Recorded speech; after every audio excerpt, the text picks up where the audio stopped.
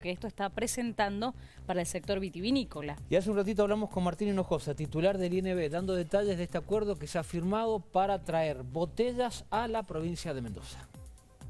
La verdad que es el momento, octubre y noviembre, para, para cargar al exterior, eh, para despachar. Entonces hay muchísimas bodegas chiquitas que están con una necesidad muy fuerte de tener vidrio, de tener botellas, eh, y la importación va a llegar seguramente muy tarde.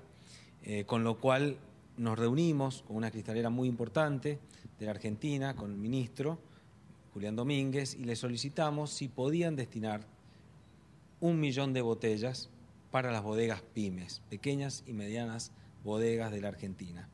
Y la verdad que tengo que agradecer a la empresa porque se puso a disposición para que desde el instituto eh, armemos un registro de esas bodegas para que se inscriban y que puedan obtener ese vidrio en el cortísimo plazo.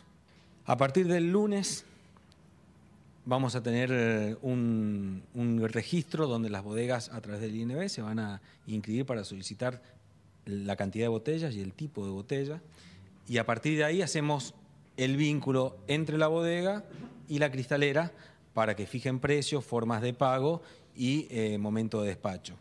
Lo que nosotros hemos logrado, que si bien no viene a solucionar el problema, pero por lo menos es algo, es la posibilidad que todo este tipo de bodegas que están necesitando vidrio en este momento, que es el momento más importante, puedan eh, al menos acceder y tener esta posibilidad para poder llegar a los mercados antes de Navidad, eh, que es el momento fuerte de venta del año, ¿no?